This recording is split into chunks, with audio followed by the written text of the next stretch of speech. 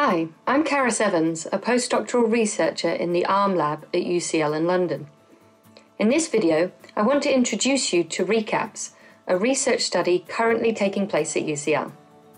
The RECAP study is being conducted to find ways to improve recovery after stroke. It is also a study you may want to be a part of. So, what is the RECAP study?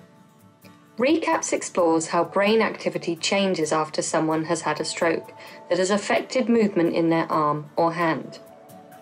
Recaps also looks at whether non invasive brain stimulation can be used to alter brain activity after a stroke. So, what do we mean by brain activity? Brain activity refers to the communication of brain cells via electrical impulses. After a stroke, this brain activity can change, brain cells can become more or less active. We refer to this as the excitability of the brain. Scientists believe that increased excitability may promote a good environment for recovery and reorganization to take place, a process called neuroplasticity. In the first weeks after stroke, the brain is often more active than normal, which is also when we tend to see the most recovery. Over time, activity returns to normal levels and recovery often slows down. In the RECAP study, we are comparing brain activity in people who had a stroke very recently to people whose stroke occurred further in the past. We also want to see whether brain stimulation can be used to mimic or even prolong excitability levels believed to help recovery. So, how do you measure brain activity? In the RECAP study, we record brain activity by measuring the signals traveling between the brain and the hand. This is done using a technique called transcranial magnetic stimulation, or TMS.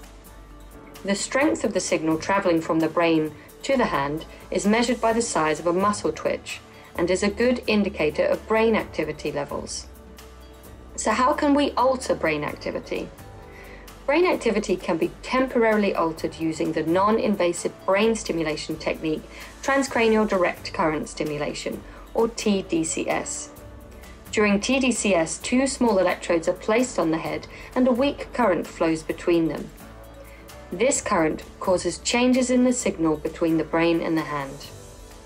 These changes cannot be detected by the person receiving TDCS, but can be seen as slight changes in the size of the muscle twitch in your hand. So, if you want to find out more about how brain stimulation works, you can also watch one of our other videos about non invasive brain stimulation. So, why is the RECAP study important?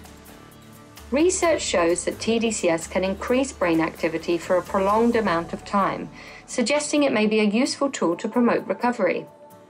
However, it is still unclear whether it is best to apply TDCS to patients early or late after their stroke. In the RECAP study, we may see one of two results. If we see greater change in the muscle twitch in people who had a stroke recently, this would suggest brain stimulation is more effective when applied early after a stroke. If we see a greater change in the muscle twitch in people who had a stroke further in the past, this would, however, suggest brain stimulation is more effective when applied later after a stroke. Whilst RECAPS is not a treatment study, our results will determine when it is best to apply TDCS to get the best results.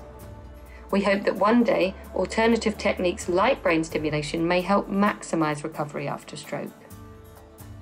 If you'd like to know more about the RECAP study, you can find some information by visiting the links on screen or by sending us an email. Thank you for watching.